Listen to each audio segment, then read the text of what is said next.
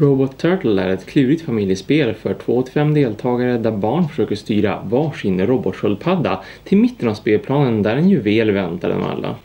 Genom att spela ut programmeringskort från vänster till höger så bygger man ett program av kommandon som den vuxne sköldpaddsförflyttaren lyder efter. Vardera barn som spelar har blivit tilldelad en färgad sköldpadda med tillhörande skalbaggekort, juvel och även då en kortlek som är uppdelad på tre högar med kommandon. Svänga 90 grader till höger, svänga 90 grader till vänster samt gå rakt framåt. I turordning kommer barnen nu att få välja ett av sina sådana här programmeringskort och placera detta framför sig.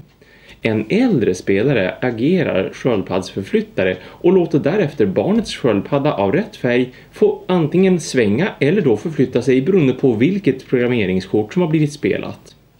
Innan sköldpaddsförflyttaren agerar så kan barnspelaren välja att ångra sitt senaste kort genom att slå på sin skalbaggebricka och ropa bugg. Barnspelaren tar då tillbaka sitt programmeringskort och väljer istället någonting annat att spela. Nya programmeringskort som placeras ut läggs från vänster till höger och spelet fortsätter på det här viset fram till dess att samtliga barn har nått sin juvel av samma färg som en sköldpadda.